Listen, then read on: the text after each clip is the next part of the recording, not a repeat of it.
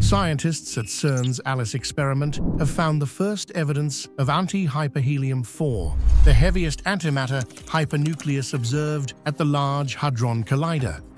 Anti-hyperhelium-4 is the antimatter counterpart of hyperhelium-4, with a nucleus containing two protons, two neutrons, and an anti-lambda.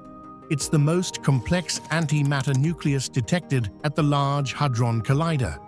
Using advanced detectors, scientists at ALICE identified the unique decay signatures of anti-hyperhelium-4, pushing the boundaries of antimatter research. It is still unknown today whether matter would remain stable if we were to swap all particles by their antiparticles. The quest for stable antimatter could help unlock one of physics' pressing questions, why the universe is made of matter instead of antimatter. By studying these rare particles, scientists are piecing together the story of the cosmos' earliest moments.